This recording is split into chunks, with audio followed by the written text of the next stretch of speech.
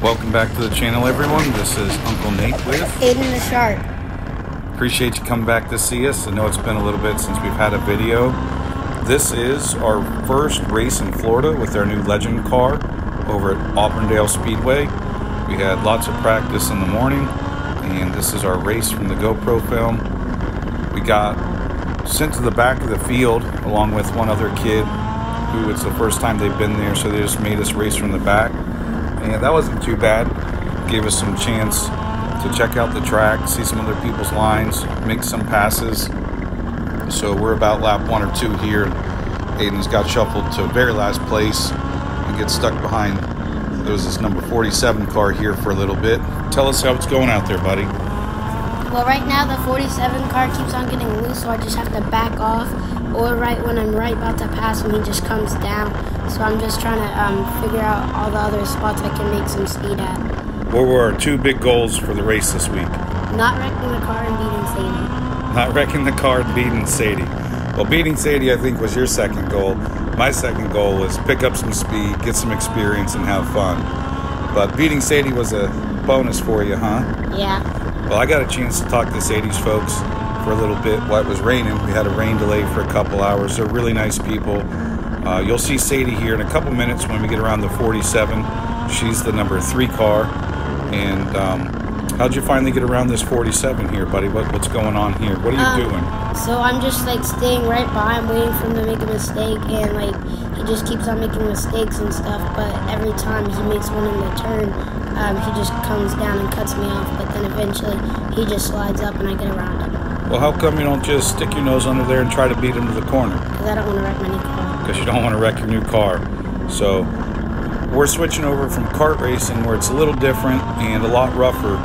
And we're really happy with the spatial respect most of the drivers at all the tracks we've gone to has given us. Uh, moving up to this level of car, most people do it for fun, and they're pretty expensive little cars, and you don't just want to go tearing them up, especially racing from the back like this. So I was really happy with Ayden for being patient. Um, some of you folks that race might notice we're probably not on the right line to get a good run on somebody. And if you don't notice that, we might point it out a little later. But we don't want to give too much away with some of our strategies and It's lines just it's because I was just trying to get around him. because you were trying to get around them. I was just trying to get right behind him and trying to bump him. But that's what today was about was experience and learning. And uh, we're definitely got plenty of video to learn from on this race. And we're going to make some improvements. Uh, we were very proud to be the third or fourth fastest car out on the track, even though we did start from the rear, but didn't really reflect, reflect how fast or slow our car was. And as a whole, I was very impressed and happy with Ayden's performance. And now that we're around the 47, who's in front of you now? Sadie.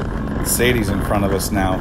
So Ayden's going to try to hawk down Sadie, and the number one rule for passing is No bumping. no bumping. Pass him clean.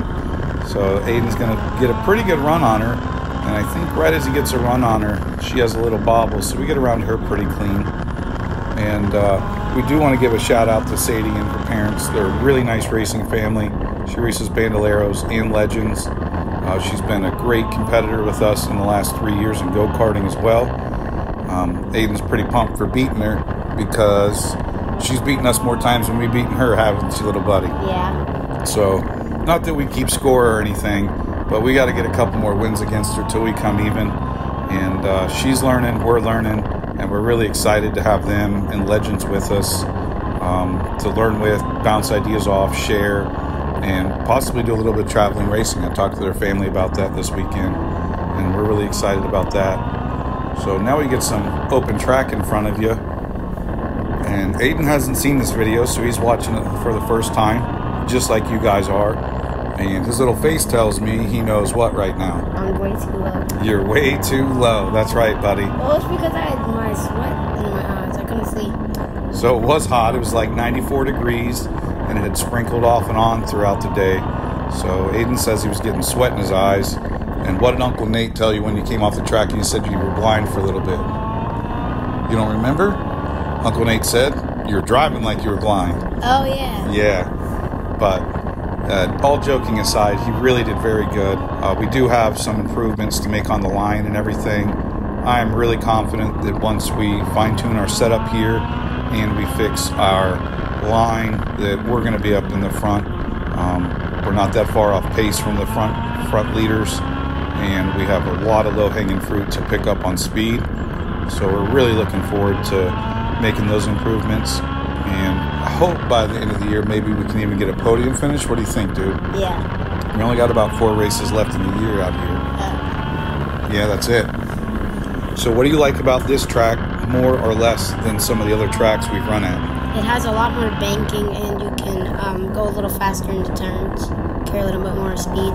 What about the line in the turns? Is it a little wider line? Is it a little smaller? Is it about the same? Um, it's a little bit wider. So you can carry more speed through the turns, and you have a little bit more diversity of where you can run at on the track in the turns. Uh, but when you get a little bit above the black line, um, you're, you're gonna start sliding. You're gonna get a little. You're gonna slide if you get above the black line. Yeah. Well, Ayden doesn't know. We haven't talked about that, but that black line is what's called PJ1. It's a special compound that they sealed into the track to give it more traction and allow the track to be more than a one groove track.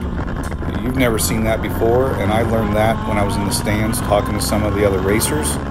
So, Auburndale Speedway has done the best they possibly can to offer the widest racing surface and the best racing action they can for their racers and spectators both. And I really enjoyed watching Ayden go around this track and figure it out.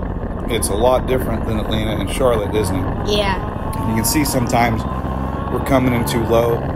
These cars we've learned are what I like to call a bottom hugger, which means you got to be on the very bottom in the turns, or what happens? You slide high in your head. You slide high in your wreck.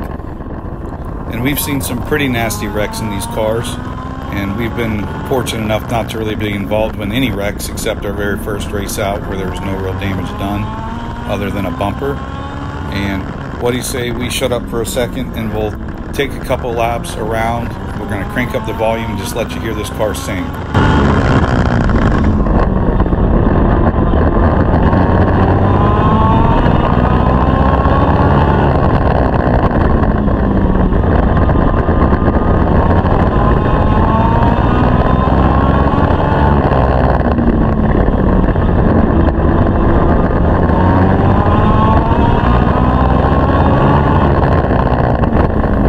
So we're coming out of four, turn four here now. And we're taking the checkered flag. We finished seventh out of eleven. Got anybody you want to thank or anybody you want to see next time? I want to see Bryson next time, and thanks everybody um, for watching. And please don't forget to like and subscribe. Come back and see us. We got lots more racing action coming. Still got two months left in the season.